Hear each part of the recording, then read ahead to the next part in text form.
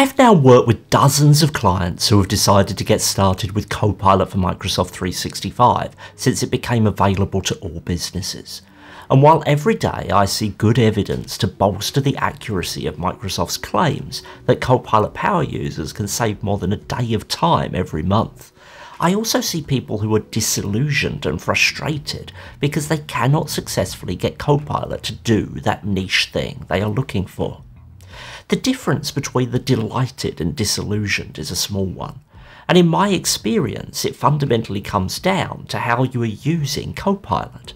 Some people are just using it plain wrong and then blaming the product. So in this video, let's talk through three of the main Copilot usage errors I see that are making users frustrated and how to fix them. And stick around until the end where we will focus on the steps you can take in your business to ensure Copilot gets used to its maximum from the start. Do note that as always, any screen recordings you see in this video are captured using demo environments. But before we start, a quick introduction. My name is Nick DeCourcy. I'm the owner of Bright Ideas Agency, a digital transformation consulting company focused on the needs of smaller businesses. I'm also the author of Who's in the Copilot Seat, a guidebook for small and medium sized business leaders on how to adopt AI technology. If you're interested in learning more about working with me or getting a copy of my book, there are links below where you can get more information. One of the key errors I have seen is when people are using Copilot but just ignoring its grounding capabilities. Copilot for Microsoft 365 is an amazing tool, but it's also very different to other generative AI experiences like ChatGPT in that it sits on top of and can leverage much of your Microsoft 365 data. This is an amazing superpower because so much of what we do in work day to day isn't original and out of nowhere. It's built upon foundations of other work you've done before, whether that's the history of a project, or a meeting you conducted with a client, or a template for a document that you've already built. When we mix that existing data context with your request or prompt, we call that grounding. And Copilot for Microsoft 365 is a grounding beast in comparison to many other generative AI tools. Copilot not only works best when it's interacting with your business data, but I would argue that it's the only use case under which it actually makes sense. In fairly objective ways, I find other services like ChatGPT or Claude to give better results when I'm not worried about leveraging existing contextual content. And so it surprises me that many users make little attempt to fully realise the potential of Copilot's business data grounding skills. Microsoft doesn't help this situation by literally making every Copilot enabled product slightly different when it comes to grounding capabilities. Just take a look at Outlook. There are three different Copilot buttons on screen, and each of them will access a slightly different Copilot experience, each with different abilities when it comes to leveraging existing content to help you in your tasks. This is fundamentally confusing, and while it is becoming more fixed over time, it must be something Microsoft gets better at with this product.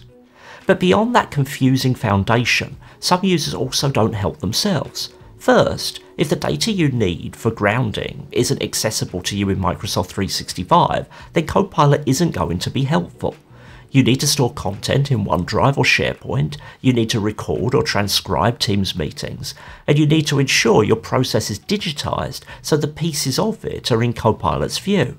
There are ways around this with extensibility in the long term, but foundationally, if you store all your files on your company's on premises share drive, or you use an obscure email provider, your investment in Copilot for Microsoft 365 is going to be far harder to justify with the quality of outputs you get. Assuming you've done your data preparation and relevant grounding content is available to Copilot, you still need to use it. I've seen users who insist on finding the exact text they want from a file and pasting it into Copilot in much the same way they've got used to with ChatGPT. And while sometimes you do want to be that certain of the context an AI request you're making is using, a lot of the time this will be a redundant process that simply means you miss much of the benefit Copilot can deliver to you. You shouldn't blindly trust Copilot or any AI tool, but you should make use of the capabilities it was designed with while ensuring you verify its outputs to a reasonable degree to ensure responsible usage. For many frustrated users, getting a full picture of these grounding capabilities and getting in the habit of storing or creating data so they can be used is the tipping point at which Copilot goes from a frustration to a powerful and helpful tool being used effectively every day. Before we look at error number two, if you're finding this video useful, it would be great if you'd give it a like to help it get in front of more people. And if you're interested in seeing more like this, please do subscribe to the channel. The next issue I see often is that Copilot users only use basic prompts, but get frustrated that all they get back are fairly basic results. While this varies across the Copilot product suite, if you look at the prompt input boxes for Copilot in apps like Word or in Copilot Chat, you'll see you can include up to 2,000 characters.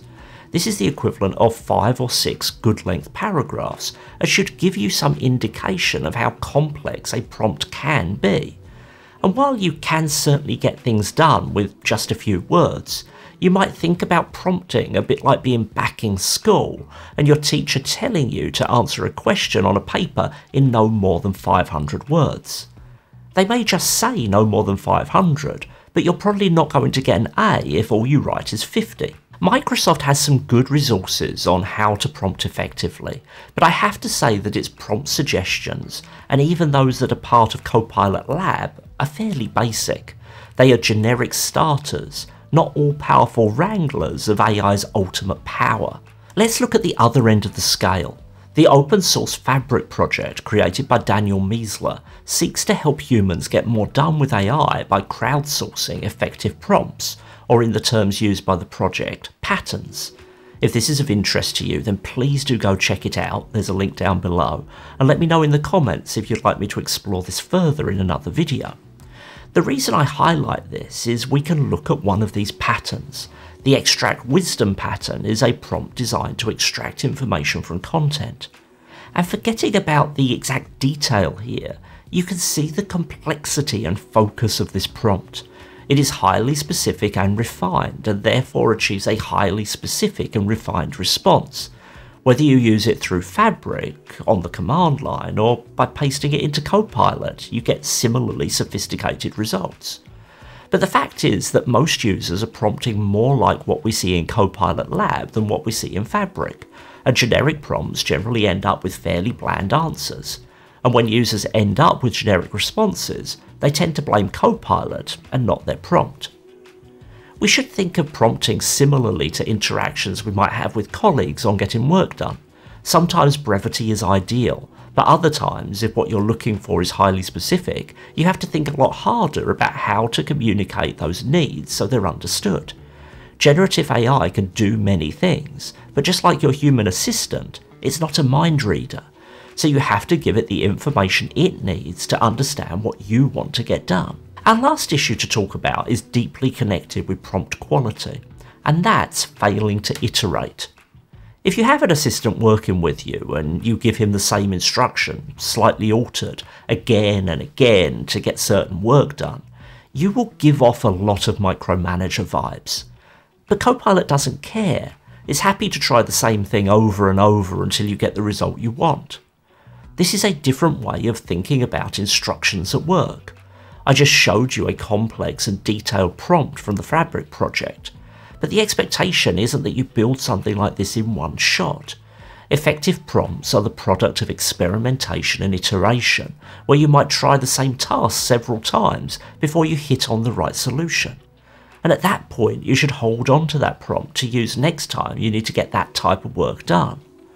This process of iteration is absolutely fundamental to getting the best from Copilot or other AI tools in a way that really doesn't apply to most other systems you're implementing in your business. Because Copilot and all generative AI isn't deterministic, it's difficult to simply describe a series of actions, like button presses, and expect consistent results. But by iterating your prompting over a series of trial and error steps, you can get better and more consistent results that are more directly tailored to exactly what you need. And even if not iterating exactly, taking your AI help tasks from trying to one shot everything to having a dialogue with Copilot in order to help it improve can be a very useful technique, especially for things you haven't tried before This is a different way of thinking about how to communicate your requirements in a business context. So that leads us on to one final topic. How do you navigate the process of embracing Copilot for Microsoft 365 while avoiding your team members falling into these and other traps that makes them disillusioned in the first place? This all comes down, in my experience, to having a planned adoption process that includes getting all the technical requirements in place, including considerations of your data preparation, and ensuring your team members and those in supervisory roles are supported in learning not just how Copilot for Microsoft 365 works, but also more fundamentally how using generative AI in business is different than embracing many other technologies. Microsoft has a fantastic set of adoption resources available at its website specifically for Copilot, and I'll put a link down below to a recent video I published on Copilot for Microsoft 365 adoption.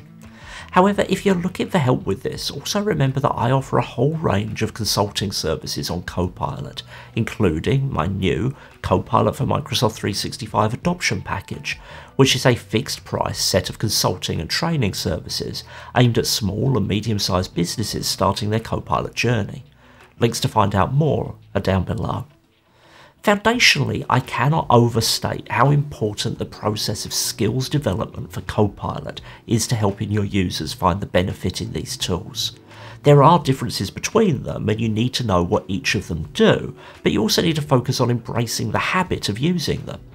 Microsoft's recent Work Trend Index report showed us that power users of Copilot, those saving 10 or more hours per month using it, are significantly more likely to have received training from their business and seen their leadership embrace the benefits of AI. Implementing the technology is just one part of success. The larger part is making Copilot or similar tools part of the work culture of your business. What do you think about the three errors I highlighted in this video?